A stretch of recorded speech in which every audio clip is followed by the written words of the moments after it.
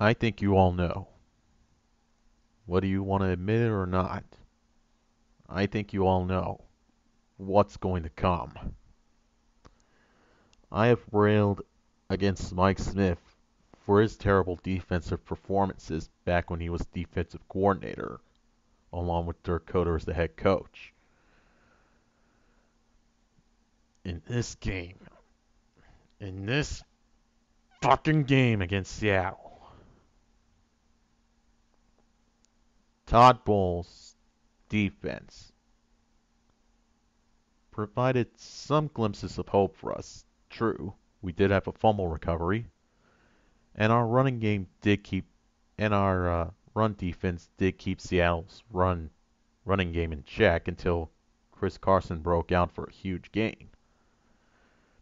Our defense did good in some areas.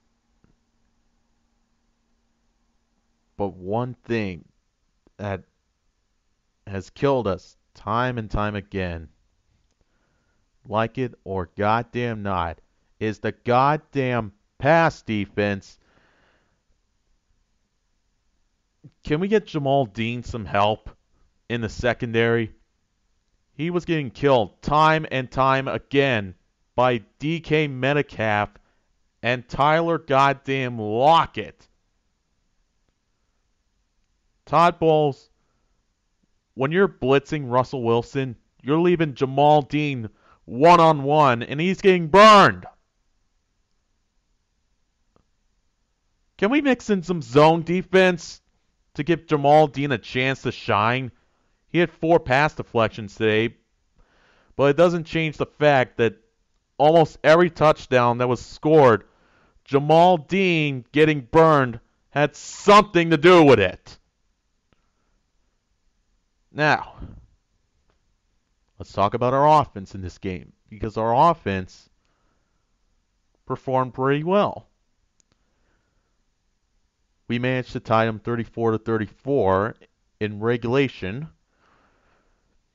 it seemed like every time Seattle was scoring, Tampa Bay was scoring as well.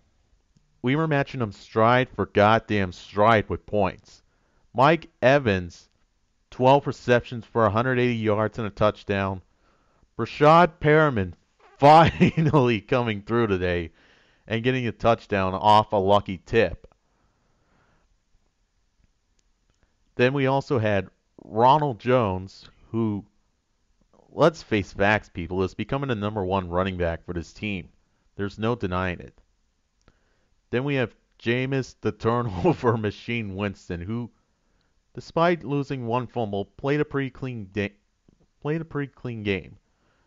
He had no interceptions. He bailed us out on some drives, especially that last drive we had where we had to score.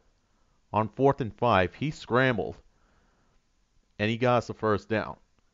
And that's one thing I've been looking for in Jameis Winston all year. Scramble, scramble, scramble when the opportunity presents itself. Scramble when you're wide open and there's nobody within a hair's kind of space away from you. Scramble. He did that. And he got a game tying touchdown. on goddamn overtime. You all know the story. Seattle went down. Jamel Dean just gets burned back to back to back to back to back to back. And they score a touchdown on us. At this point, I don't even know what to say to Todd Bowles anymore. Todd Bowles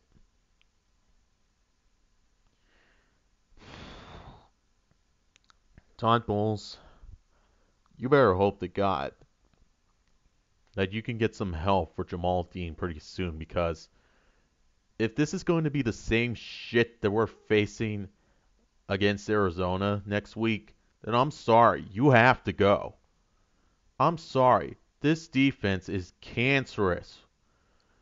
Every opportune time our offense is performing good, the defense is just meh or it's getting burned, or it's losing the rookie quarterbacks who are underperforming.